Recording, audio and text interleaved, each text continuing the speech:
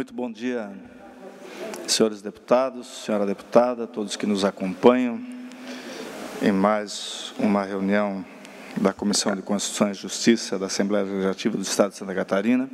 Havendo quórum regimental, declaro aberta a sexta reunião ordinária da Comissão de Constituição e Justiça.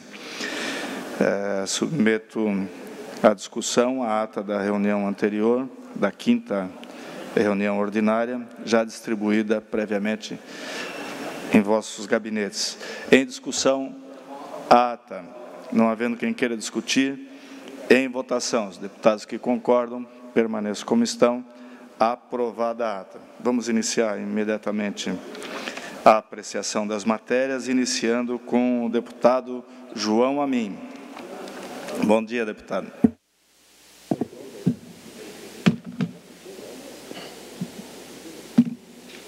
Bom, bom dia a todos.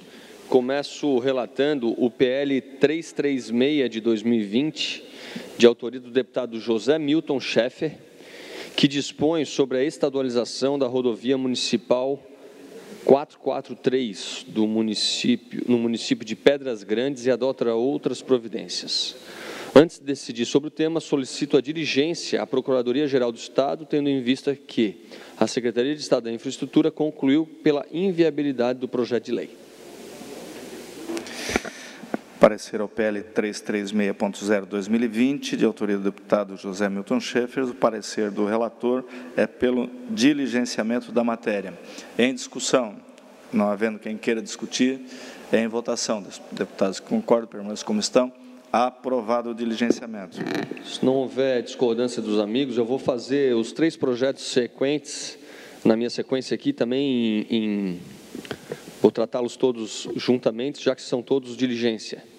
É o PL 291.4/2020, de autoria do deputado Bruno Souza, que pretende alterar a Lei 6320 de 83 para estabelecer medidas de regularização sanitária de alimentos. Eu solicito diligência também à Procuradoria-Geral do Estado. O PL 55.5/2021, de autoria do deputado Ivan Nats, que dispõe sobre a instalação de recifes artificiais na costa litorânea catarinense. Também é, solicito diligenciamento ao IMA e à Procuradoria-Geral do Estado. E o projeto 16.9 de 2021, de autoria da deputada Paulinha, que cria o programa de infraestrutura pesqueira no Estado de Santa Catarina, denominado Inova Pesca e adota outras providências, eu solicito diligenciamento à Secretaria de Estado da Agricultura, Pesca e Desenvolvimento Rural. Parecer ao PL 291.4/2020, de autoria do deputado Bruno Souza. PL 55.5/2021, de autoria do deputado Ivan. PL 16.9/2021, de, de autoria da deputada Paulinha os três projetos, o voto do relator é pelo diligenciamento das matérias. Em discussão, não havendo quem queira discutir, em votação, os deputados que concordam, permaneçam como estão, aprovado. Foi rápido hoje, deputado João. Na sequência, deputado Fabiano da Luz. Bom dia, senhor presidente, senhores deputados, a todos que nos acompanham.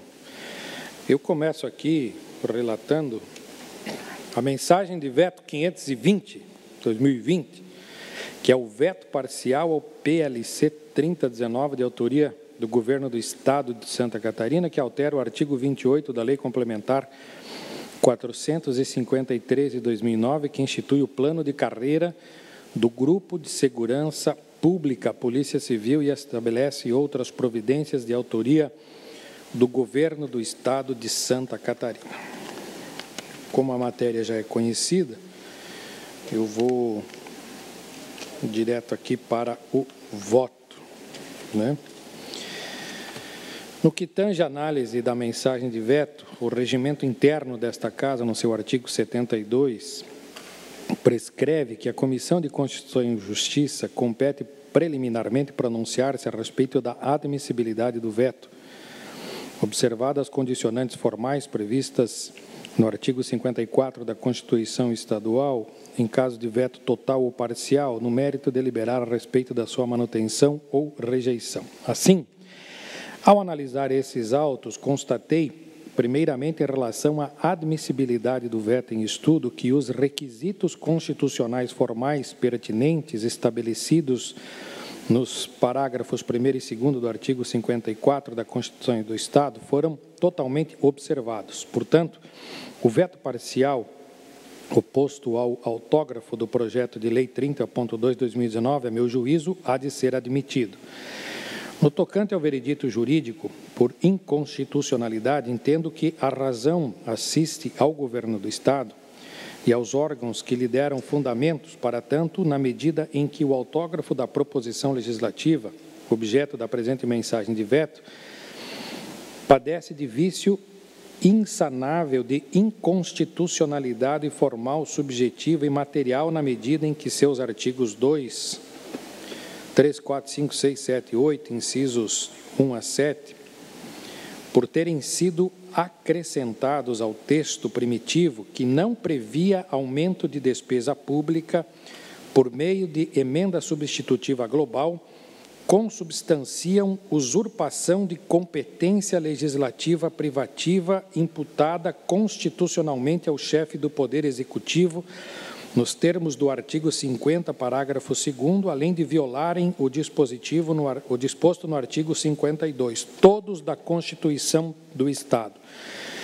Nessa linha, por conseguinte, o autógrafo do PLC analisado atenta contra o princípio da separação dos poderes, escrito no artigo 32, como, tam, como bem apontado pelo IPREV, em sua manifestação desfavorável à matéria. Neste cenário, e considerando os substanciosos pareceres derivados dos órgãos estaduais citados, notadamente o da PGE, os quais afiançam a acertada decisão do governador do Estado, contrária em parte ao autógrafo indigitado PLC, julgo que no mérito o veto parcial em análise revela-se inafastável e, portanto, deve ser mantido por este Parlamento. Em face do exposto, no âmbito desse colegiado de Constituição e Justiça, voto pela admissibilidade da tramitação processual da mensagem de veto 520 ao autógrafo do processo de lei complementar 30.2/2019 e no mérito pela manutenção do veto governamental nele aposto conforme as razões de veto delineadas na mensagem governamental pelo chefe do Poder Executivo catarinense, senhor presidente. Parecer a mensagem de veto 520.2020, eh, veto parcial PLC 30 barra 19, de autoria do Governo do Estado, o parecer é pela admissibilidade e manutenção do veto. Em discussão a matéria.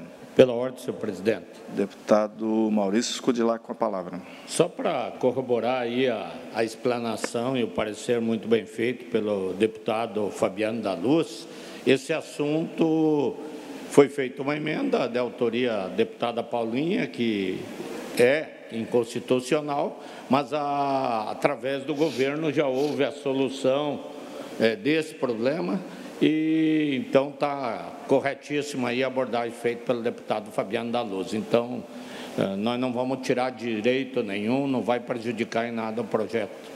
Obrigado, presidente. Obrigado, deputado Maurício. Com a palavra, a deputada Paulinha, está pedindo a palavra. Obrigado. Obrigado, senhor Estou presidente. Estou te vendo aí de Bom, eu, eu eu brevemente também quero só compartilhar a mesma fala do deputado Maurício. Na época, nós unimos as nossas forças para tentar é, resolver, criar um ambiente de solução para a situação da Ireza que afligia os nossos policiais.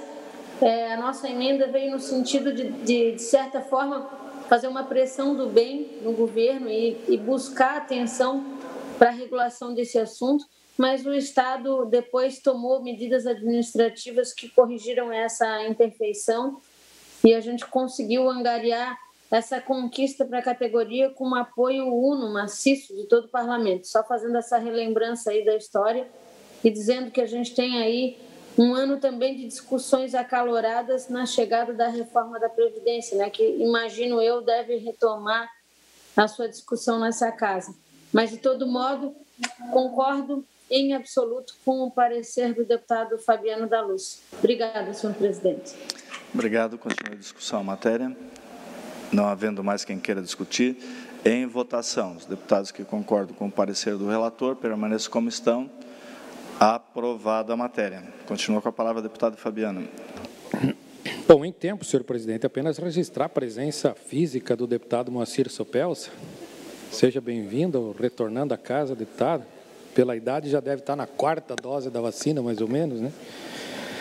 Eu tenho aqui o, o voto, a mensagem de veto 618-2021, que é o veto parcial ao PL 294-2020, de autoria do deputado Kennedy Nunes, que altera o anexo segundo da Lei 17.335 de 2017, que consolida as leis que dispõem sobre a instituição de datas festivas alusivas do Estado de Santa Catarina para o fim de instituir a Semana Estadual do Rádio de Santa Catarina, de autoria do Governo do Estado. No voto, Compete à Comissão de Constituição e Justiça exarar parecer quanto à admissibilidade e o mérito dos vetos apostos pelo governador do Estado aos projetos de lei aprovados por esta Casa Legislativa. Da análise da matéria, primeiramente, quanto à admissibilidade, verifico o cumprimento dos requisitos formais atinentes à espécie consoante previsão do artigo 54 da Carta Política Estadual, devendo o veto ser admitido.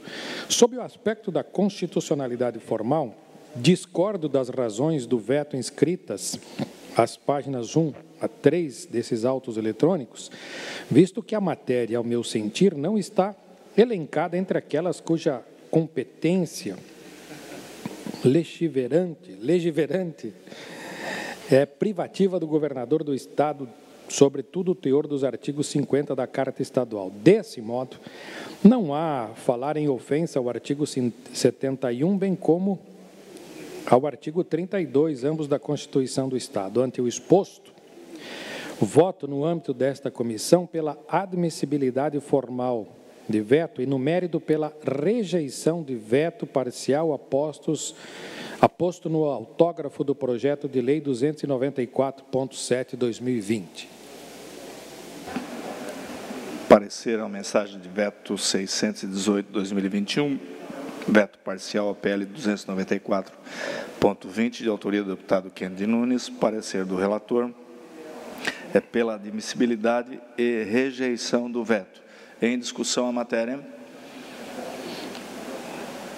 Não havendo quem queira discutir, em votação, os deputados que concordam com o parecer do relator permaneçam como estão. Aprovado o parecer.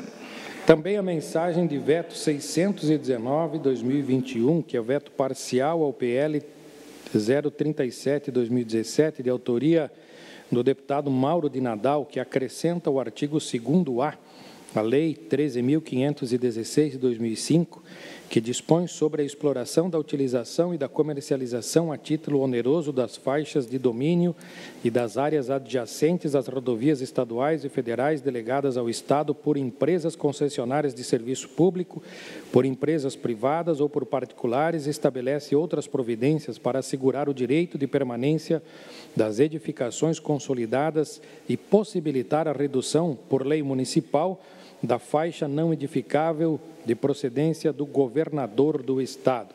No voto, com efeito ao analisar os presentes autos, constatei inicialmente, no que toca à admissibilidade, que restaram cumpridos os requisitos constitucionais formais atinentes à espécie em tela, conforme previsão do parágrafo 1 da Constituição do Estado, razão pela qual o veto parcial merece ser admitido e regimentalmente processado por esta Casa de Lei. Quanto ao exame de mérito, no âmbito desta Comissão de Constituição e Justiça, julgo que o veto parcial aposto ao projeto de lei deve ser mantido, sobretudo em face dos fundamentos jurídicos advindos da PGE, conforme demonstrado nos autos. Nessa linha, peço vênia para corroborar as razões balizadas pelo chefe do Poder Executivo em fundamentos legais e jurisprudências no que diz respeito ao exame do veto jurídico parcial, manejado qual seja por inconstitucionalidade Ante o exposto, voto pela admissibilidade do prosseguimento da tramitação processual da mensagem de veto 619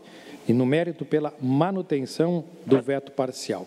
Isto porque, senhor presidente, o governo do Estado já mandou uma lei para essa casa que foi aprovada na semana passada, então é necessário a manutenção do veto. Parecer ao mensagem de veto 619 21, veto parcial PL 37.17, de autoria do deputado Mauro de Nadal. O parecer é pela admissibilidade e manutenção do veto. Em discussão a matéria. Não havendo quem queira discutir, em votação. Os deputados que concordam com o parecer permaneçam como estão.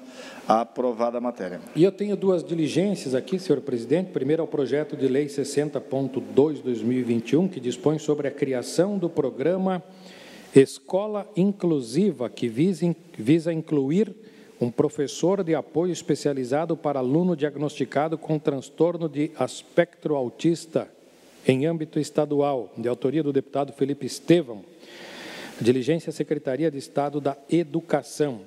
E também o 78.1, que dispõe sobre o registro de data da contratação do serviço nas faturas de prestação de serviços de fornecimento de água e energia elétrica, de autoria do deputado Ricardo Alba, diligência para a PGE, Celesc e também para a Casan. Parecer aos PL 60.2/2021 de autoria do deputado Felipe Estevão, PL 78.1/2021 de autoria do deputado Ricardo Alba. Os pareceres são pelo diligenciamento da matéria. Em discussão, não havendo quem queira discutir, em votação, os deputados que concordam permanecem como estão. Aprovado os diligenciamentos. De minha parte, fechou a porteira, senhor presidente. Pauta limpa. Vamos em frente. Com a palavra, deputado Coronel Mocelin. Bom dia, presidente. Bom dia, nobres colegas. Então, vamos lá. O relatório e voto a mensagem de veto número 0600 de 2021 Veto total ao PL 159-19, de autoria dos deputados Márcio Machado e Sargento Lima, que adiciona o parágrafo 9 ao artigo 23 da Lei 16.673, de 2015, que dispõe sobre a criação da Agência de Regulação de Serviços Públicos do Estado de Santa Catarina, ARESC, e estabelece outras providências, de autoria do governador do Estado. Julgo julgo apropriada a limitação da cobrança tarifária de esgoto em 70% de consumo de água, em face das seguintes razões. A atual impossibilidade de qualificar o usufruto desse serviço, os percentuais menores observados em diversos municípios do Estado e o anseio popular por tarifas módicas e a possível margem disponível do lucro da concessionária. No mérito, entende que, ao contrário da substância do veto, o projeto de lei atende a legislações que regulam a concessão dos serviços públicos, atendendo também aos anseios da sociedade, devendo, pelo entendimento esposado através da aprovação unânime desta Casa Legislativa, ser deferido. Ante o exposto, voto pela admissibilidade da tramitação da mensagem de veto 0600-2021 e, no mérito, voto pela rejeição do veto total aposto no autógrafo do projeto de lei é, 159.1 de 2019. Parecer a mensagem de veto 600/21, veto total ao PL 159 19, de autoria do deputado Márcio Machado e Sargento Lima. Parecer do relator é pela admissibilidade e rejeição do veto. Em discussão, não havendo quem queira discutir, em votação, os deputados que concordam com o parecer, permaneçam como estão. Aprovado o parecer. Relatório e voto à medida provisória 235-2021 altera os artigos 3 4 e 12 da Lei número 18.007 de 2020, que estabelece medidas temporárias a serem adotadas no âmbito da Secretaria de Estado da Saúde para enfrentamento da emergência de saúde pública de importância internacional decorrente do coronavírus responsável pelo surto de 2019. Autoria do Governo do Estado. A medida provisória de 235-2021 é de igual objeto ao da medida provisória 228-2020, que vem prorrogar, vem para prorrogar as medidas de ressarcimento aos servidores da saúde adotadas na edição daquela medida provisória, que foi aprovada e transformada por nós deputados na lei que ora está sendo alterada, a lei 18.007/2020. A medida provisória altera as datas constantes nos artigos 3 4 e 12 da lei da Federal Lei, estabelecendo pela ordem 1. Um, a extensão da remuneração dos servidores para o período de 1 de julho de 2020 até junho, 30 de junho de 2021. 2. A manutenção dos mesmos valores a serem pagos. E 3. A prorrogação da vigente lei, da vigência da lei. Desnecessário repetir os argumentos lançados na justificativa da edição da medida provisória 228 e da Lei 18.007 de 2020, vez que desde a sua edição a crise de saúde e a situação desses servidores só tem se agravado. Eu voto, portanto, pela admissibilidade da medida provisória 0235-2021. Era esse o voto, presidente. Parecer a medida provisória 235 2021, de autoria do, do, da Secretaria de Estado da Saúde. O voto é pela admissibilidade da matéria. Em discussão, não havendo quem queira discutir, em votação, os deputados que concordam, permaneçam como estão, aprovado o relatório.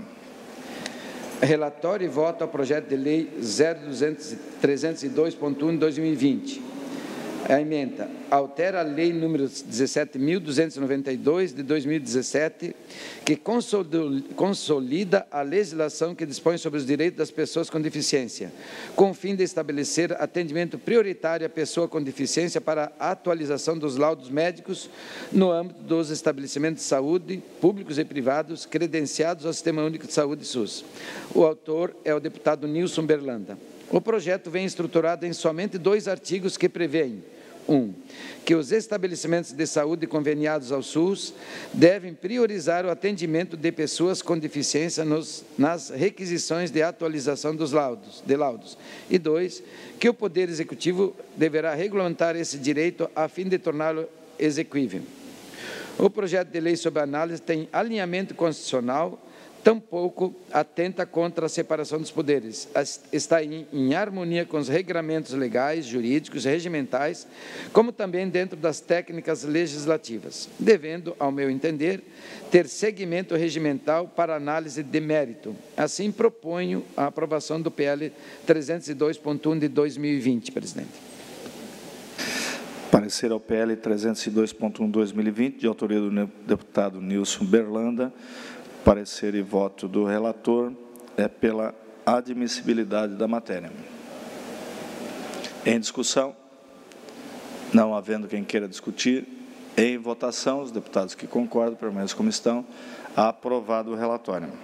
Continua com a palavra o deputado Coronel O último projeto que eu tenho para relatar é o relatório e voto ao projeto de lei número 021.6 de 2019 que a emenda aqui é cria o Parque Estadual da Praia de Taquarinhas no município de Balneário Camboriú e adota outras providências, de autoria do deputado Ivan Nates.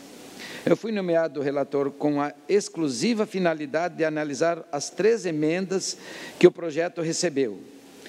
As emendas retiram as atribuições que o projeto cria ao Poder Executivo e define que o parque só será criado após respeitada o Código Estadual do Meio Ambiente, que em, seus, em seu artigo 131, uh, uh, letra L, define que criação de novos parques só poderão ocorrer após a regularização dos anteriores. Portanto, ao atender à Constituição Estadual e à legislação estadual vigente, as emendas devem ser aprovadas, no meu entendimento. Voto pela aprovação, portanto, das emendas supressivas modificativa e aditiva ao projeto de lei 021.6 de 2019, presidente. Presidente. Parecer ao PL 21.6 2019, de autoria do deputado Ivan Nats, que cria o Parque Estadual da Praia de Taquarinhas, avaliando as emendas que voltaram para a CCJ, o parecer do relator é pela aprovação da matéria. Em discussão. Eu vou pedir vista, presidente porque eu tinha apresentado um parecer, mas depois desse estudo do Coronel Mussolini, eu não sei se eu vou manter meu parecer ou, ou acompanhá-lo, então eu peço vista e me comprometo em, em devolver o projeto.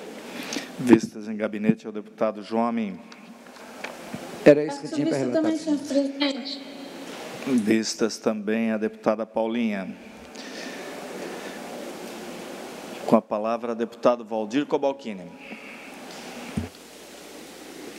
Senhor presidente, deputada Paulinha, colegas deputados, o primeiro projeto é o 304.3 de 2020, de autoria do deputado Fernando Krelin, cuja emenda acrescenta o parágrafo único ao artigo 67 da Lei Complementar 170 de 98, que dispõe sobre o Sistema Estadual de Educação, para obrigar a construção de quadras poliesportivas com cobertura e vestiários em novos projetos de construção de unidades escolares na rede pública estadual de ensino. E esse projeto ele foi diligenciado à Secretaria de Educação e, e, e enfim, com parecer contrário é, de, dessa secretaria, por, por sua, segundo análise, por sua inconstitucionalidade, pelo fato de obrigar o Estado à construção da, de quadras esportivas e vestiários.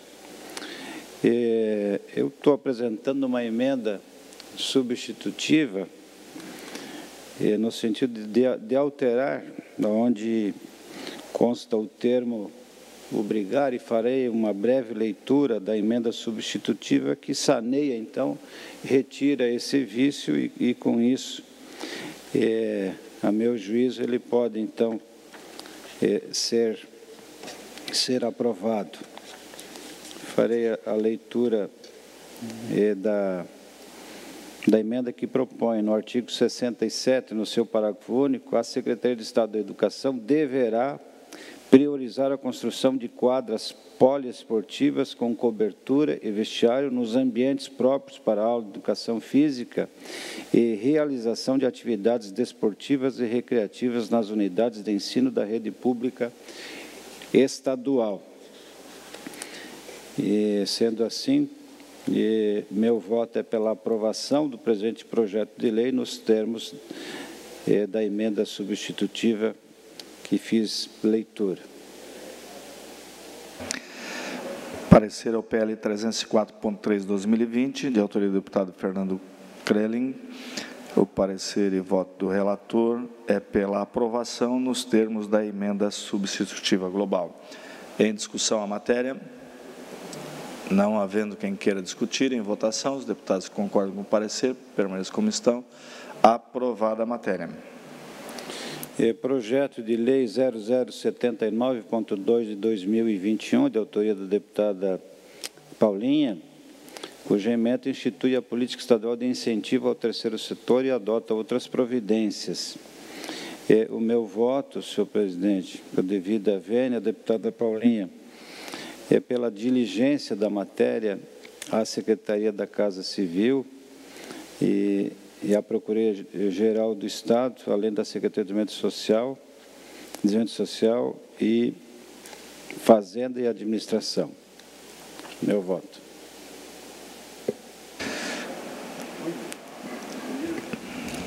Pela diligência, senhor presidente. Parecer ao PL 79.2, 2021, de autoria da deputada Paulinha, que institui a política estadual de incentivo ao terceiro setor. O voto do relator é pelo diligenciamento da matéria. E se me permite, deputado Cobalcini, que Sim. a diligência fosse também ao COFEM, aos Conselho das Federações Industriais e Empresariais do Estado de Santa Catarina. É, para que possam também se manifestar, porque a matéria é correlata ao setor, Acolho. aos setores produtivos. Acolho, senhor presidente. Em discussão a matéria. Não havendo quem queira discutir, Em votação, os deputados que concordam permaneçam como estão. Aprovado o parecer do relator. Projeto de Lei 0087.2, 2021, de autoria do deputado Sérgio Mota, estabelece prioridade para vacinação contra vírus, contra o vírus SARS-CoV, Covid-2 no estado de Santa Catarina.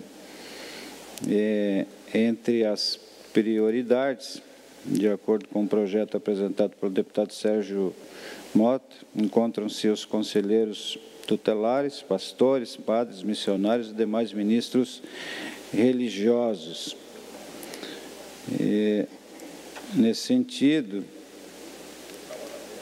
é, após ampla pesquisa, é, trago meu convencimento à análise dos nobres pares desta comissão para considerar a iniciativa da presente proposição não está no rol da, da iniciativa impeditiva dos incisos do parágrafo 2 e do artigo 50 da Constituição Estadual e nem em desacordo com a competência legal prevista no caput do artigo 50 é, da nossa Carta Magna, além de que atende aos pressupostos do artigo 24 da Constituição Estadual e o artigo 10 é razão pela qual deve o projeto em análise seguir seus trâmites legais e regimentais. No âmbito desta comissão, em consonância com o artigo 1 do artigo 144 do Regimento Interno, cabe a admissibilidade da matéria quanto aos aspectos de constitucionalidade, legalidade, juridicidade regimentalidade da técnica legislativa. E, inicialmente, no que tange à constitucionalidade formal, anoto que a matéria vem estabelecida por meio de proposição legislativa adequada à espécie, ou seja, projeto de lei é, ordinário, bem como mostra-se legítima sua apresentação por parlamentar de acordo com a competência geral prevista no artigo 50, capítulo da Constituição Estadual. E, assim, examinados os autos da proposição em análise, voto no âmbito desta Comissão de Justiça pela aprovação do presente projeto de lei, deixando é, a análise do mérito para a comissão respectiva. É como voto, senhor presidente. Parecer ao PL 87.2/2021, de autoria do deputado Sérgio Moto, parecer e voto do relator é pela admissibilidade da matéria. Pela ordem, senhor presidente. Deputado Maurício Scudilac, para discutir a matéria. Eu, particularmente, acho que está contrariando a legislação. Eu vi até comentários sobre esse projeto e seu pastor e o padre precisam ter preferência o motoboy aí, o que entrega lanche de casa em casa, está se expondo muito mais. Nós temos muitas outras categorias aí que, que infelizmente, estão mais expostos do que os próprios pastores. Eu acho que tem que entrar na regra geral estabelecida pelo Ministério é, da Saúde. Eu tomo a liberdade de pedir vista para fazer um estudo, senhor presidente. Vistas em gabinete ao deputado Maurício Scudilac. É, projeto de lei 40.9/2021 é de autoria do deputado Felipe Estevão, que acrescenta artigo à lei 17.066 de 2017 para dispor sobre a obrigatoriedade de publicar e manter atualizada em página própria da internet a relação das pessoas que se submeteram à vacinação contra o Covid-19. O presente projeto de autoria do deputado Felipe Estevam pretende que enquanto perdurar oficialmente a situação de emergência em saúde pública no país decorrente do novo coronavírus, em face da qual as ações de imunização da população são submetidas à definição ordenada dos grupos prioritários, ficam todas as esferas do governo, Estado de Santa Catarina, obrigados a publicar e atualizar a página em página própria na internet a relação de pessoas já vacinadas. É, em sessão plenária é, do último dia 2 de março, foi aprovado o requerimento de prioridade do presente projeto de lei subscrito por vários parlamentares, em conformidade com o artigo 225 do Regimento Interno, sob o argumento do recrudescimento do contágio que atualmente afeta a população catarinense em praticamente todas as regiões do Estado, com destaque para a região é, oeste pelo risco de ocorrências de fraudes no processo de execução do Plano Nacional de Vacinação, notadamente a possibilidade de burlar a ordem de prioridades, o conhecido fura-filas, e ainda o aumento da angústia da população, que passa é, a descrer da eficiência e da lisura da atuação estatal. É, colho aqui também uma manifestação do, do Procurador-Geral de Justiça e, e também subscrita pelo presidente da OAB de Santa Catarina, respectivamente, Dr. Fernando da Silva Comim e Rafael Horn. Abre aspas. Enxerga-se no projeto de lei eh, 40.9/2021 oportunidade para que o Estado de Santa Catarina novamente protagonize a construção de um paradigma de transparência no serviço público, desta vez em face dos desafios impostos pela necessidade de imunização célere e ordenada de grandes contingentes, contingentes populacionais e dada a perspectiva de insuficiência de doses que se projeta a médio prazo. E também desejo esclarecer de que Nesta comissão, no dia 16 de março do corrente ano, foi aprovado o requerimento de diligência eh, da matéria.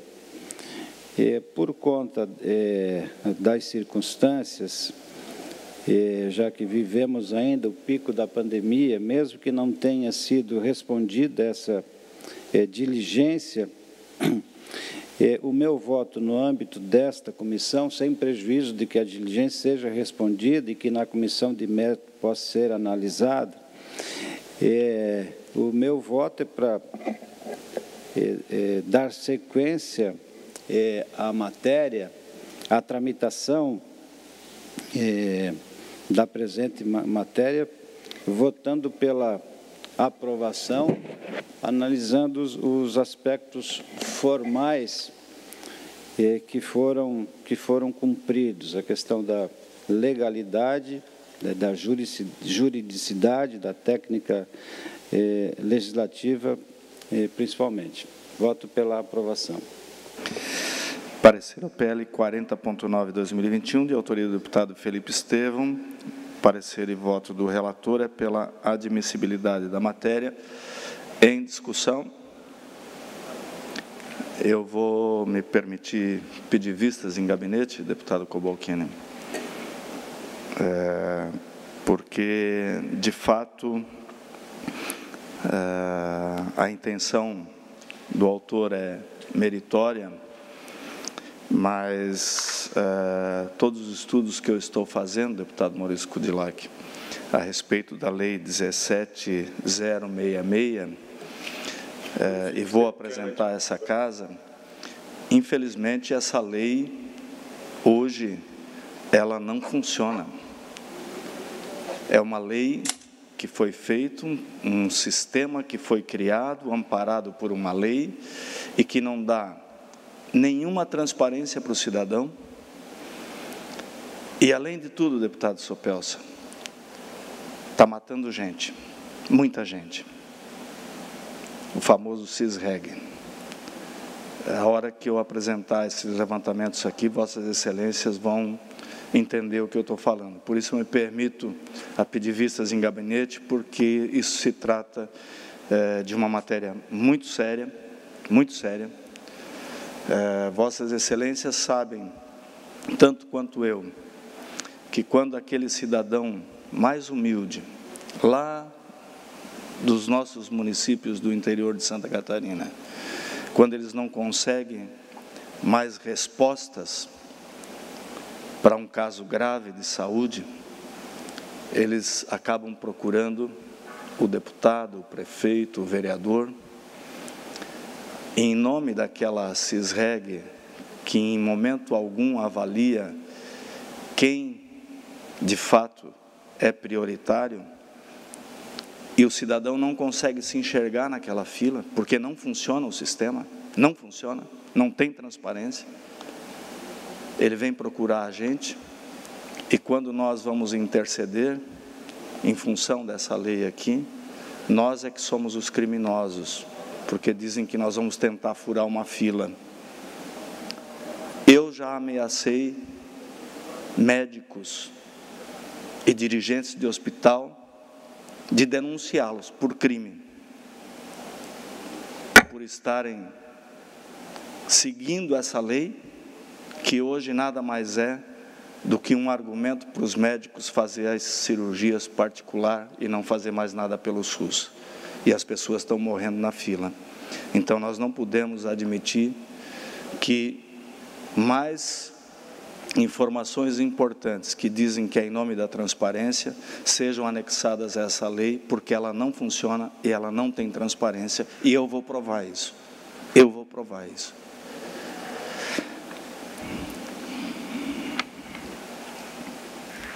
Continua com a palavra deputado Valdir Cobalcini. É, eu faço, é, senhor presidente, senhores deputados, um requerimento de juntada, um ofício 0018.7-2018, é, de autoria da Secretaria de Estado de Infraestrutura, através do DEINFRA, e que é, apontou, vou, vou, vou explicar, apontou uma falha num projeto de lei apresentado pelo deputado Fernando Coruja e pelo deputado Titon, é, em relação à denominação da SC é, 390, no trecho que compreende os municípios de Capão Alto e Capão Belo do Sul. E, à época, e, a de, denominação foi de Padre Dilson José da Silva, e, na verdade, o, o falecido Padre Dilson José é de Souza, e não da Silva. É, e eu faço já a, a correção, senhor presidente, é, apresentando então um projeto de lei alterando aquele de número 16.720, alterando aquela lei de 2015, faço a devida correção. Né? Já, já apresenta aqui a proposta é, do projeto de lei com essa, com essa corre, correção, é, denominando então é, Padre Edilson José de Souza. Parecer ofício 18.7-2018, de autoria da Secretaria de Estado da Infraestrutura. O parecer e voto do relator é pela alteração eh, e a correção do nome ao projeto de lei 16720 de 2015. Em discussão a matéria, não havendo quem queira discutir, em votação, os deputados que concordam permaneçam como estão. Aprovado o parecer do relator. Pauta limpa, deputado. Concluído, presidente. Obrigado. Deputada Paulinha, com a palavra. Bom dia, senhor presidente. Bom dia, meus colegas. Eu tenho para relatar, conforme havia me comprometido, a devolução de vista do PL 051.1, de autoria da deputada Ana Campanhola, uma devolução de vista, na verdade, senhor presidente, é, do projeto que estabelece, é, impede que o Estado de Santa Catarina promova a decretação de fechamento de estabelecimentos comerciais em decorrência da pandemia de Covid, sem reunião prévia com representantes de empregadores e empregados.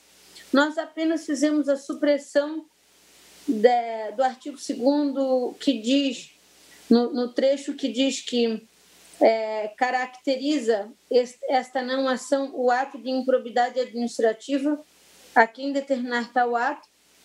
Foi a manifestação que nós fizemos na sessão pretérita, é, compreendendo na questão da licitude que nos compete aplicar aqui na Comissão de Constituição e Justiça, que não incumbe ao Estado inovar nas hipóteses de caracterização de ilícitos de improbidade administrativa já previstos taxativamente na Lei 8.429, que é o marco regulatório sobre, sobre esse tema e que é, é regulado no ambiente federal. Nesse aspecto, né, é, sob pena de incorrer na violação do artigo 24 do parágrafo 4 da Carta da República, que a gente entende, então, que a matéria é excepcional, é positiva, merece prosseguir, mas com essa pequena correção. Por isso, a gente apresenta o voto vista pela aprovação da matéria, de autoria da deputada Ana Campanholo, com emenda supressiva ao artigo 2 Consulto. Consulto ao deputado Coronel Mocelin, que tem o voto eh, precedente, se concorda com a alteração proposta pela deputada. Positivo, presidente. Com a concordância do relator, deputado Coronel Mocelin, vamos então colocar em discussão o voto vista da deputada Paulinha, que é pela aprovação com a supressão Não, é, do item.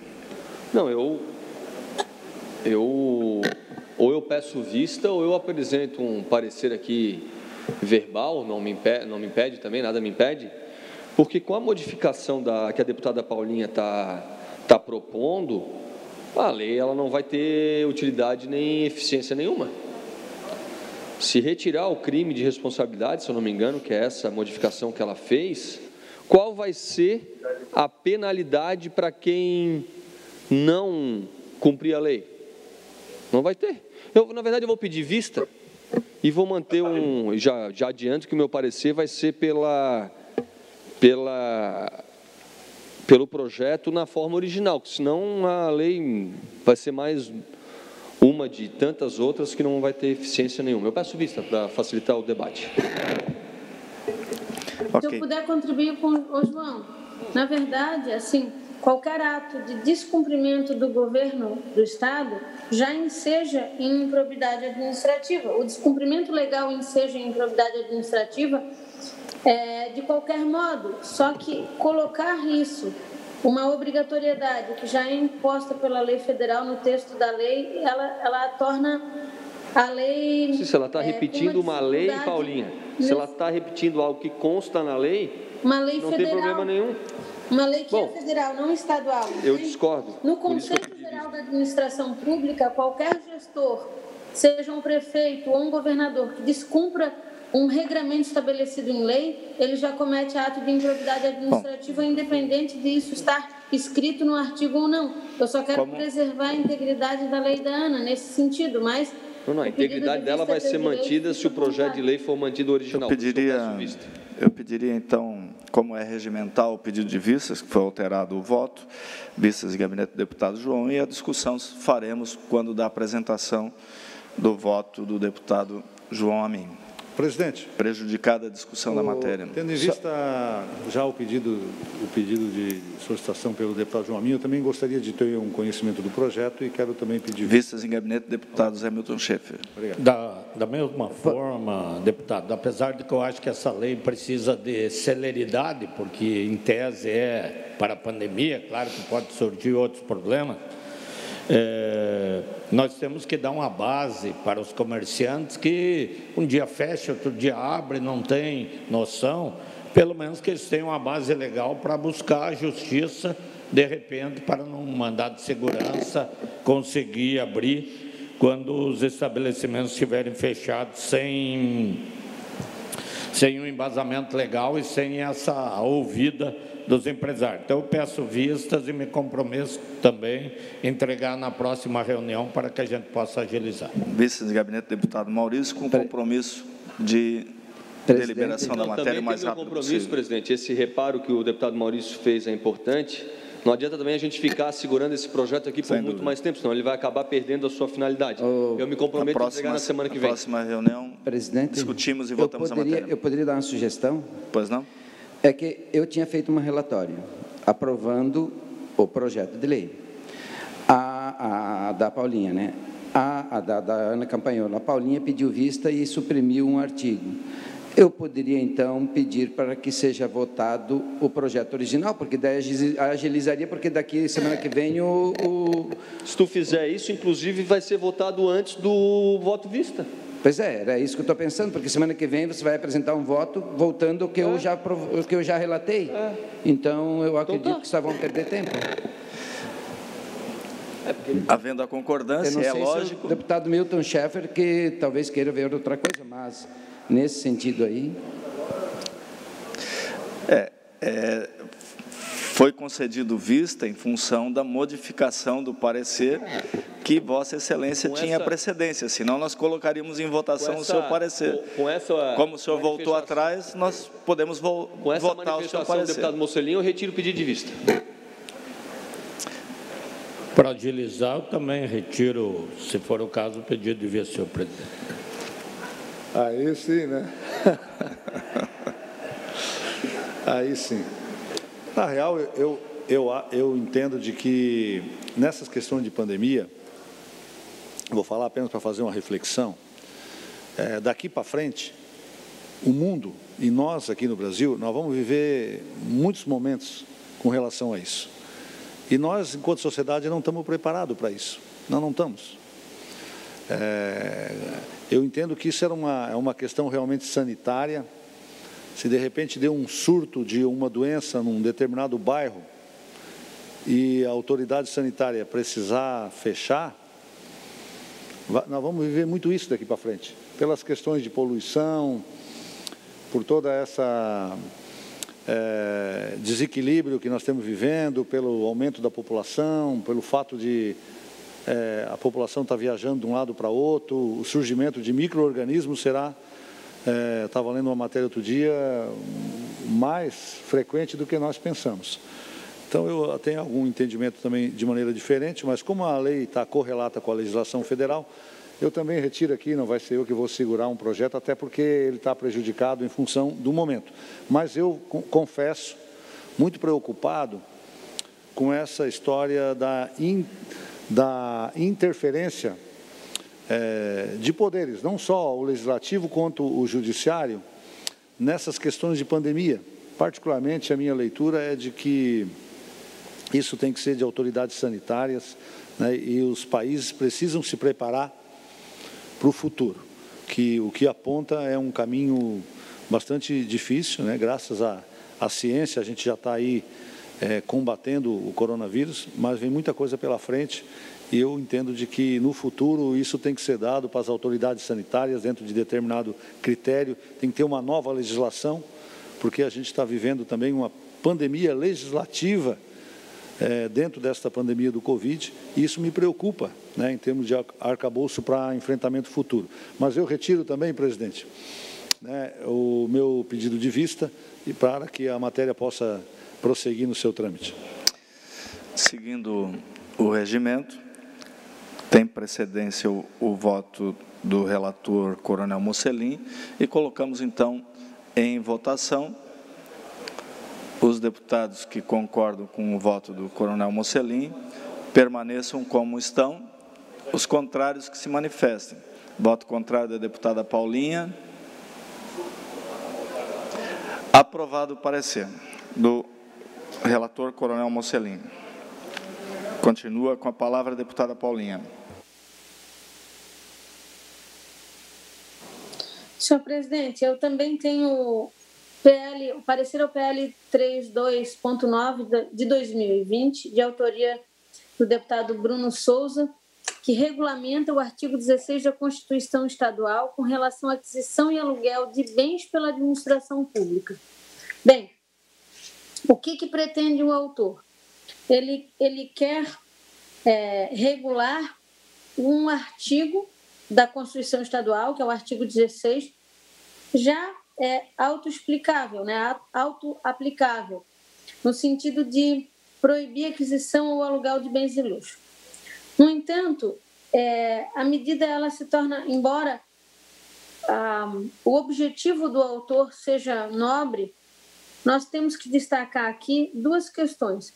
Primeiro, que não há definição do que, do que seria bens de luxo. A segunda questão é que nesse, na, na, questão da licitude, que é o que nos compete aqui na CCJ, é, na, na, consulta e na pesquisa que fizemos, essa medida ela, ela tem repercussão direta na lei de licitações e contratos da administração pública, é, que é também uma regulação federal. A União tem competência privativa para regular sobre essas questões, é, conforme preconiza o artigo 22 da Constituição. Então, infelizmente, nós votamos pela inadmissibilidade do projeto, em razão de não haver sustentação é, para seguir com a matéria, ainda que as intenções do deputado Bruno Souza sejam as melhores possíveis. O que pretende o autor é que o Estado não, não se furte na sua responsabilidade ética de aplicar os recursos do catarinense com medidas que realmente sejam prioritárias, mas a gente, de fato, fica numa situação com dificuldade de expor esses termos. Era isso, senhor presidente. O nosso voto é pela inadmissibilidade da matéria. Parecer ao PL 32.9/2020, de autoria do deputado Bruno Souza. O parecer da relatora pela inadmissibilidade da matéria em discussão. Não havendo quem queira discutir, em votação, deputados que concordam, voto contrário do deputado João Amin. Pela ordem, senhor presidente. Deputado Maurício. A deputada Paulinha, acho que encerrou os relatórios, só queria pedir à deputada Paulinha, é, tem um pedido um colega de bancada aí, o deputado Ivan Nates, a deputada está com vistas ao PL 14.7 2021 e pela, pelo regimento, né, aqui a gente vai mais pelo acordo, mas pelo regimento venceria na próxima terça-feira. Então, gostaria de pedir, em nome da bancada ali do PL, se a deputada puder apresentar o parecer que o deputado tem como importante esse projeto. Obrigado, senhor presidente.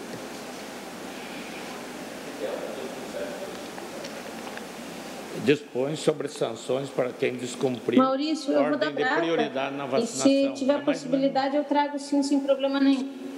Tá? Eu vou ver direitinho com a minha assessoria, se puder, eu trago sim semana que vem, tá bom? Ok. Com tá a okay. palavra, deputado Maurício Skudilac. É, esse, esse projeto, senhor presidente, que eu falei, é também sobre sanções para quem descumprir a ordem de prioridade na vacinação é, contra o Covid. Mais um projeto dessa casa buscando resolver essa questão, que eu acho importante. Como Vossa Excelência já disse, tem notícia de pessoas que não estariam na fila e já foram vacinadas, não estaria dentro da regulamentação do Ministério da Saúde. E eu acho que é um caso muito grave, porque se nesse descumprimento, um que não estaria na ordem recebeu e um que estaria vier a falecer, nós estamos falando aí de, no mínimo, homicídio culposo. É, senhor presidente, eu tenho para relatar o projeto de lei 503.8, cuida-se de projeto de lei de autoria do eminente deputado Coronel Mocelin, com a pretensão de regulamentar o dever de retirada pelo proprietário dos bens móveis por ele entregues aos prestadores de serviço de assistência técnica. O projeto foi lido na sessão de 11 de dezembro de 2019. Na mesma data, começou a tramitar, tendo como relatora a ilustre deputada Ana Campagnolo, que na primeira oportunidade postulou por diligência Ato contínuo apresentou parecer pela admissibilidade com emenda modificativa que restou aprovada por unanimidade. Seu, seguindo seu trâmite regimental, o projeto aportou na Comissão de Trabalho, Administração e Serviço Público, ficando sobre a relatoria do excelentíssimo deputado Volney Weber, que proferiu parecer pela aprovação, ratificando a emenda modificativa eh, de folhas 29. Já na Comissão de Economia, Ciência e Tecnologia, Minas e Energia, o PL ficou aos cuidados do deputado Bruno Souza, que na oportunidade apresentou parecer pela aprovação, juntou nova emenda modificativa, folhas 41, e é sobre essa emenda que precisamos deliberar. É... Dentre as competências dessa comissão está de analisar a constitucionalidade e a legalidade. A emenda do deputado Bruno Souza estabelece até uma emenda, ela ficou meio dúbia aqui, artigo 1 o consumidor, proprietário de bem móvel, que entregá-lo a prestador de serviço de assistência técnica para conserto, deve retirá-lo retirá no prazo máximo de 90 dias, contados da data do contada a data do contato do estabelecimento, comunicando a realização do concerto ou a impossibilidade de realizá-lo. Né? Se ele não retirar, eu não sei até como eles vão conseguir, talvez não vão conseguir algum contato. O prazo fixado no capto para a retirada do bem deve estar expresso em ordem de serviço timbrado com a identificação do prestador de serviço e assinada pelo consumidor no momento da entrega do bem para reparo. É lícito as partes convencionarem prazo diverso estabelecido no CAP. É, eu, inclusive, senhor presidente, dei uma estudada na questão do Código de Defesa do Consumidor e que não estabelece, não é, não é claro a esse respeito do perdimento do objeto e no Código Civil e fica meio, meio dúbio, os próprios juristas entendem assim. Eu entendo que a lei, da forma como fica agora redizida, Coronel Mussolini, ela fica claro, protege o empresário que às vezes vai ficar ali com um objeto, talvez até de um tamanho é, excessivo, que fica prejudicando seu estabelecimento, que não é retirado. E quanto a exigir que na entrega tenha um cupom, cupom fiscal onde estabelece o prazo, e aí dá embasamento legal para as duas partes para agir. Então, meu parecer, dentro dessa emenda, o objetivo inicial do deputado Mocelin foi aprimorado com essas emendas, eu entendo e o meu parecer é pela admissibilidade e aprovação do projeto com a emenda é, do deputado Bruno Souza. Parecer ao PL 503.8/2019, de autoria do deputado Coronel Mocelinho. Parecer do relator é pela aprovação com a emenda modificativa do deputado Bruno Souza. Em discussão a matéria. Só, deputado só Coronel Mocelinho. Ali eu acho que foi acrescentado a questão do papel timbrado, né? E eu tinha colocado que poderão ser convencionados um prazo maior e ali ele pode ele colocou que um prazo menor. Eu entendo que está correta a sua relatoria porque não é questão legal, mas me preocupa se de repente o proprietário disser, oh, em cinco dias se não retirar já perde o objeto. Então um prazo menor do que seis, três meses, mas isso a gente discute no mérito, mas tá é só uma questão de colocação dado um prazo menor do que 90 dias que poderia se conversionar entre as partes que deixa me preocupado. Só isso. Hum. Obrigado. Continue a discussão. Não havendo quem queira discutir a matéria, em votação, os deputados que concordam com o parecer, voto contrário do deputado João Amin. Senhor presidente, nós temos o pedido de diligência ao projeto de lei 66.8/2021. Trata-se de projeto de lei de autoria do excelentíssimo deputado João Amin, com o objetivo de criar a Delegacia de Defesa contra Maus Tratos a Animais Domésticos no âmbito do Estado de Santa Catarina.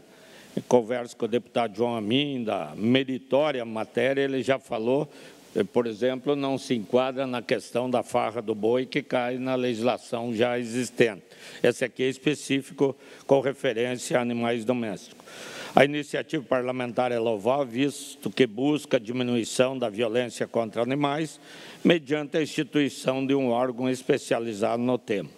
Entretanto, esse colegiado não é incumbido de fazer análise do mérito, assim pairam dúvidas sobre vício de iniciativa, bem como a contrariedade do enunciado 0111 dessa comissão, pois vejamos o que diz o projeto o Poder Executivo Estadual poderá instituir a Delegacia de Defesa contra Maus Tratos Animais Domésticos a partir das estruturas físicas funcionais já existentes na Secretaria de Estado de Segurança Pública para coibir e investigar essa prática. Inclusive, esse assunto eh, foi já, nós sabemos, discutido na Delegacia Geral de Polícia, eh, essa ideia, vamos dizer, não possibilidade. É indiscutível que estamos diante de um projeto de lei autorizativo, entretanto, antes de aprofundar o estudo acerca da constitucionalidade da matéria, julgo imperioso ouvir a Polícia Civil, bem como a Procuradoria-Geral do Estado. Por isso, o meu parecer é pela diligência externa, senhor presidente.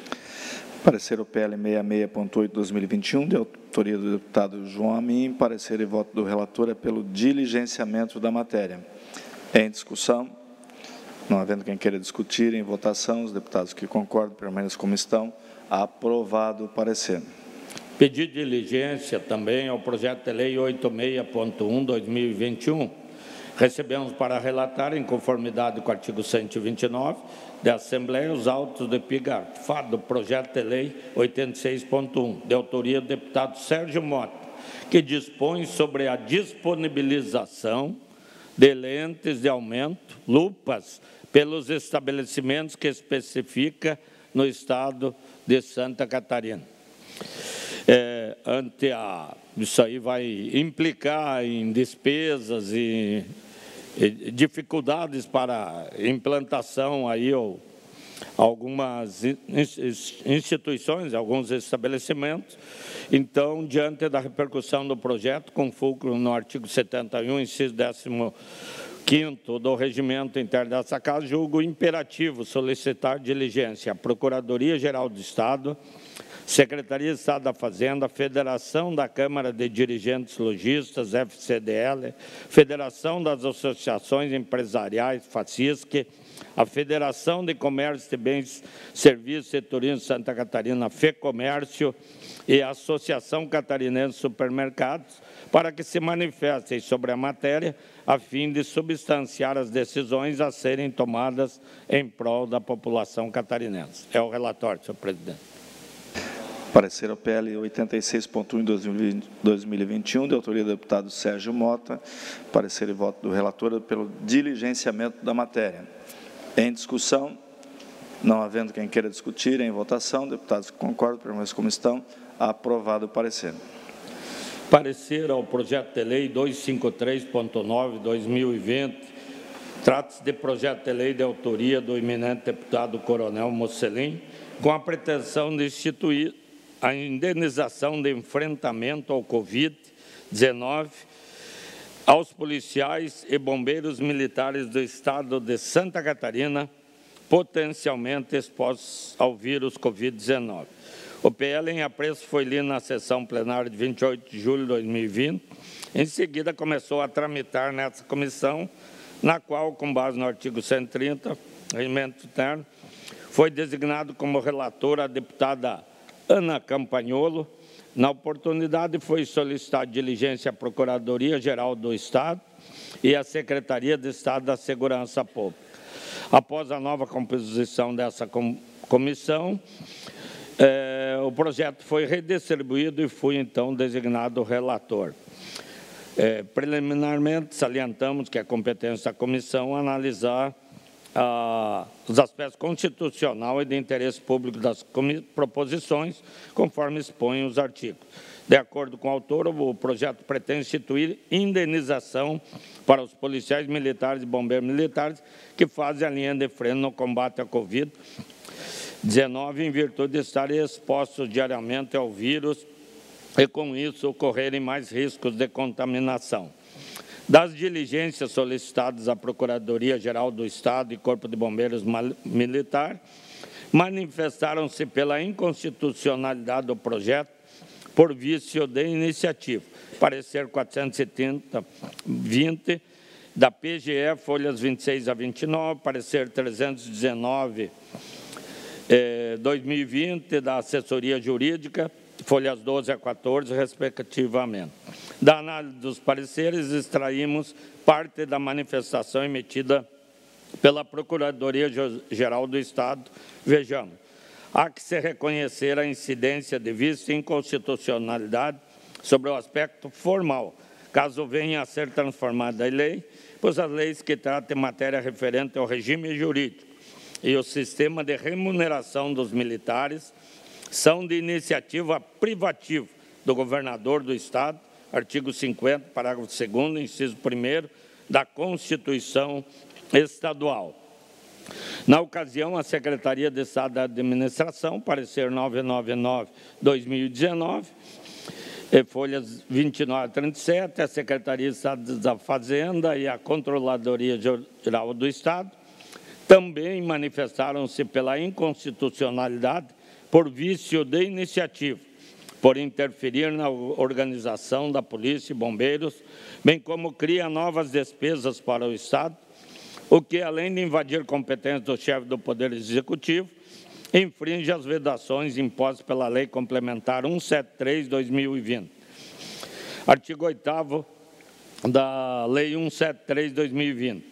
Na hipótese que trata o artigo 65 da Lei Complementar 101, de 4 de maio de 2000, a União, os Estados, o Distrito Federal, os municípios afetados pela calamidade pública decorrente da pandemia do Covid ficam proibidos até 31 de dezembro de 2021 de Sexto, criar ou majorar auxílios, vantagens, bônus, abonos, verbas de representação ou benefício de qualquer natureza, inclusive os de cunho indenizatório em favor dos membros do poder, membro de poder do Ministério Público, da Defensoria Pública e de servidores e empregados públicos e militares, ou ainda de seus dependentes, exceto quando derivado de sentença judicial transitada em julgado ou de determinação legal anterior à calamidade. A Secretaria de Estado da Administração teceu a seguinte consideração. Tendo em vista a inconstitucionalidade proposta em questão, sob opinião que o projeto de lei contraria os interesses públicos. Ante o exposto, concluo que a proposta invade competência do chefe do Poder Executivo, bem como infringe a Lei Complementar 173-2020, não se adequando aos aspectos constitucional, legal e de interesse público. Dessa forma, contrariado, inclusive queria estender esse benefício para a Polícia Civil e para outros uh, entes aí que precisam, mas voto pela inadmissibilidade do projeto 253, de autoria do eminente colega deputado Mocelin. Parecer e voto ao PL 253.9-2020, de autoria do deputado Coronel Mocelin. Parecer e voto do relator é pela inadmissibilidade da matéria. Em discussão, não havendo quem queira discutir em votação, os deputados que concordam com o parecer permaneçam como estão. Voto contrário, deputado Coronel Mocelin. Era o que tínhamos a relatar, senhor presidente.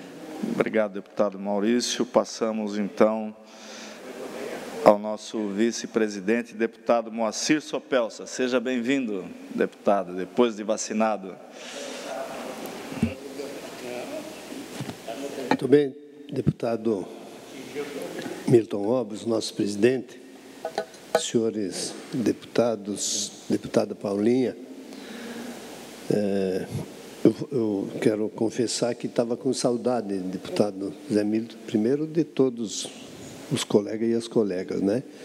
E segundo, depois de 22 anos aqui nesse plenário, né? Você ficar um ano quase sem, sem aparecer aqui, é, já penso como que vou me acostumar a partir de 2023, deputado Cobalcini.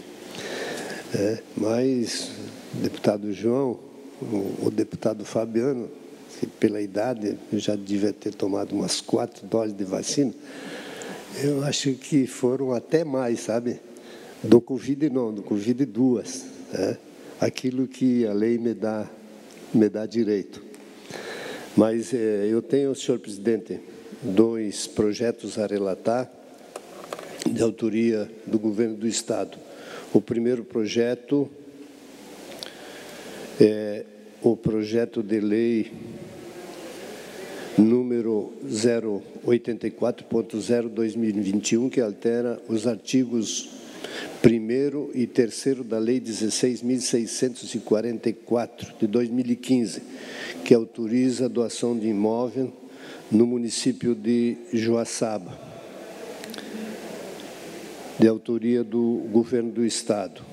O projeto altera dois dispositivos da Lei Estadual número 16644 de 2015, que autoriza o Poder Executivo a doar imóvel com benfeitorias não averbadas, onde funcionava a extinta Escola Básica Luiz Dalcanale.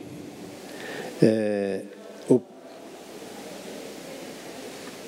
a doação ela é, ela é para que continue é, uma escola em vez de estadual municipal, onde a prefeitura de Joaçaba se compromete a fazer as novas instalações. O projeto de lei não possui, vícios, constitucionalidade do exposto. No âmbito desta Comissão de Constituição e Justiça, entendo que os requisitos necessários foram apresentados. Por isso, voto pela admissibilidade do projeto de lei 084.0/2021, devendo, devendo seguir para as demais comissões desta Casa. É o meu voto, senhor presidente, pela admissibilidade. Parecer ao PL 084.0/2021, de autoria do Governo do Estado. Parecer e voto do relator é pela admissibilidade da matéria. Em discussão, não havendo quem queira discutir, em votação, os deputados que concordam permaneçam como estão. Aprovado o parecer. Eu tenho também, senhor presidente, o projeto de lei número 020.5/2021 que denomina Cabo PM Rafael Biezus Massoco, o segundo pelotão da primeira companhia do segundo batalhão de Polícia Militar Ambiental com sede no município de Joaçaba, de autoria do governo do Estado. Consta justificativa do comandante-geral dos Bombeiros Militar e presidente do Colegiado Superior de Segurança Pública no Estado, que discorre os motivos para homenagear. Noto ajuntados documentos indispensáveis ao projeto e a justificativa com os relevantes serviços prestados em vida, a certidão de óbito, o currículo, a certidão negativa de denominação anterior e a declaração negativa de que não há nenhuma condenação pela prática de crime. É, o projeto não encontra não contraria o interesse público na medida em que visa homenagear militar que des, desempenhou exemplar carreira militar com relevantes serviços prestados na área de segurança pública. No âmbito desta Comissão de Constituição e Justiça, voto pela dissimilidade do projeto de lei número 020.5/2021, devendo, devendo seguir a Comissão de Segurança Pública. Quero aqui dizer que faço relato esse projeto, eh, deputado Mocelin o, o policial é, Massoco teve, sem dúvida nenhuma, uma vida é, de orgulho para todos nós e especialmente para a Polícia Militar do Corpo de Bombeiros. Por isso, voto pela admissibilidade, senhor presidente. Parecer ao PL 20.5/2021, de autoria do Governo do Estado. O parecer é pela admissibilidade da matéria. Em discussão, Não havendo quem queira discutir, em votação, os deputados que concordam permaneçam como estão. Aprovada a matéria. Era isso, senhor presidente. Obrigado, deputado Sopelsa. Passamos ao deputado José Milton Schaefer.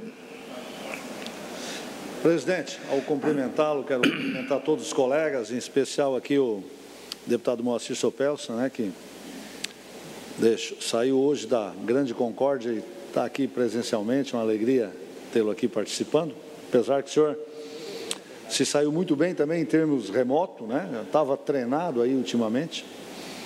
Eu quero, antes de fazer o relatório, também compartilhar com a preocupação e com as palavras do deputado Milton Obos com relação ao CISREG e a rever essa legislação, porque ela não está trazendo a agilidade eh, e nem resposta para a sociedade.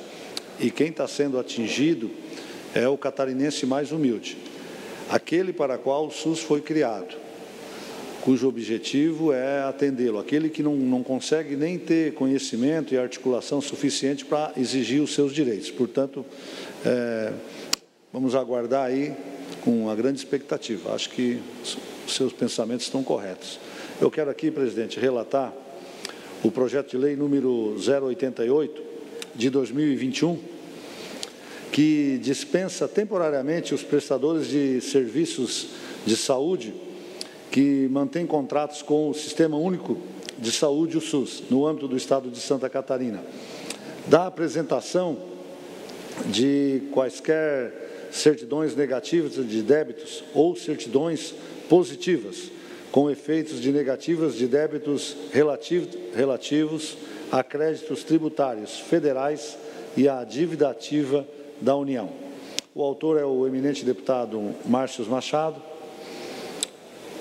e a ideia do autor é facilitar é, a realização de contratos com o SUS e mitigar aí os efeitos da crise que se abate sobre os hospitais, pontualmente quando não conseguem as referidas certidões, fato que pode impedir de receberem recursos nesse momento de grandes dificuldades.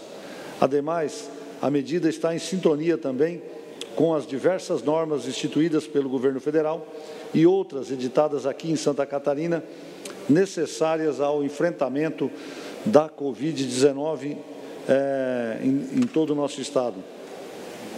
Ao analisar o projeto, que é bastante simples, nós é, vimos que ele está consoante com a legislação federal, com a legislação estadual, que tem todo um arcabouço já feito também para as questões dos tributos estaduais e prestação de contas, através de legislação específica e também através de decreto.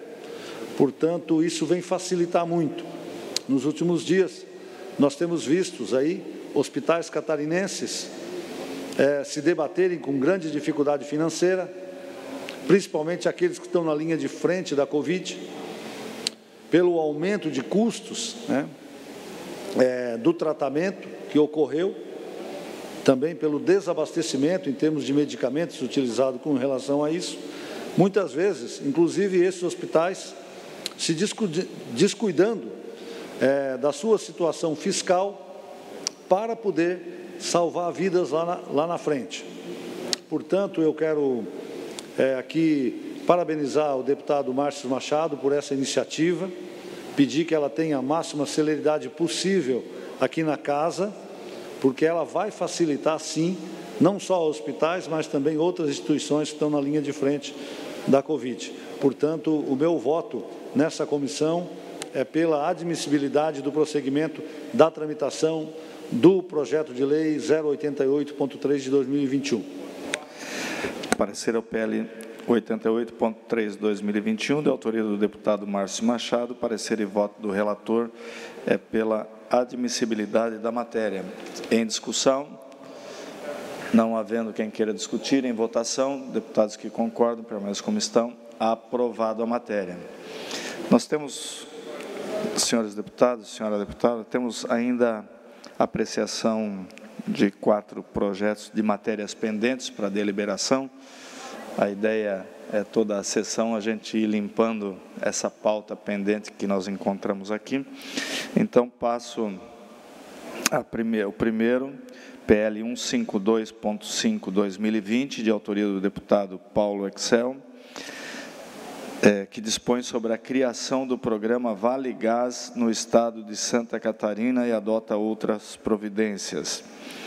Teve o voto favorável do relator Fabiano da Luz a esse projeto. E nós colocamos, então, em discussão a matéria.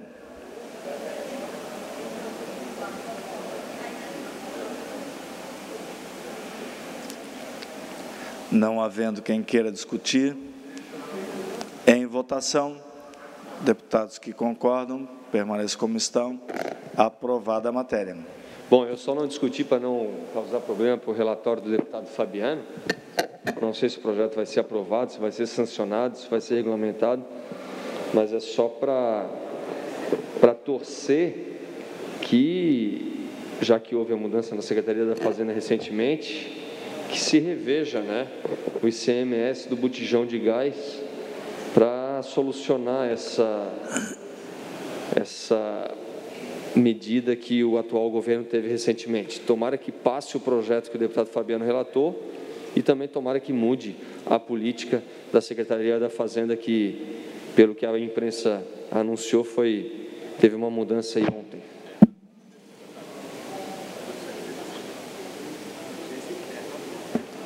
Matéria já foi aprovada aqui, segue o seu trâmite normal na comissão de mérito. Passamos então PL 180.9 2019, de autoria do deputado Bruno Souza, que define critérios para concessão de honorários, comendas, condecorações e homenagens congêneres no âmbito da administração pública do Estado de Santa Catarina. Teve parecer favorável do relator Fabiano da Luz, com emenda substitutiva global, com emenda substitutiva global. E é esse o parecer que nós colocamos em discussão. Não havendo deputado Scudilac. Eu não, não tenho todo o conteúdo do projeto aqui, mas eu sou favorável. Acho que tem que regulamentar. A gente tem que ter gratidão, saber valorizar as pessoas quando uh, agem além daquilo que lhe é exigido pela função e tudo. Mas nós banalizamos essas homenagens em muitos momentos aí. Então, é porque eu gosto, é porque eu quero, é porque é meu amigo, é porque fez. Uh, às vezes algo que é até obrigação da atividade. Então, acho que quanto mais regulamentar, é melhor. Não havendo mais quem queira discutir, em votação, os deputados que concordam permanecem como estão. Aprovado o parecer. PL 215.3 2019, de autoria da deputada Paulinha, que veda a cobrança da taxa de religação de energia elétrica e água. Teve o parecer final em 25 de 11 de 2020, de 2020 é, pelo relator Fabiano da Luz, pela inadmissibilidade da matéria. Em discussão, não havendo quem queira discutir em votação, os deputados que concordam com o parecer permaneçam como estão. Aprovado o parecer.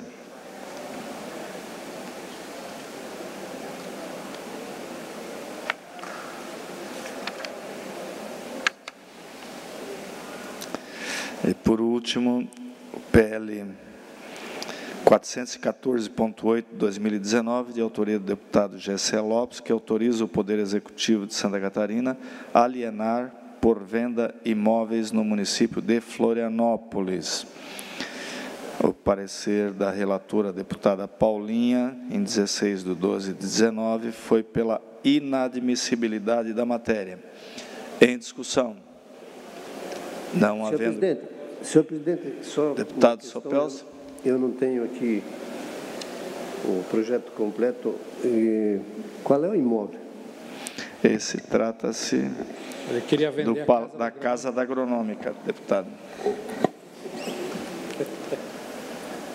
Não havendo mais quem queira discutir. Como é que é, presidente? Era o, o, os imóveis, era a casa da agronômica, todo aquele lá, e o, e, a, e o, e o imóvel da casa da vice-governadora também. Os dois imóveis, e o parecer foi pela inadmissibilidade. Em votação a matéria, os deputados que permaneçam com o parecer, permaneçam como estão. Aprovada a matéria.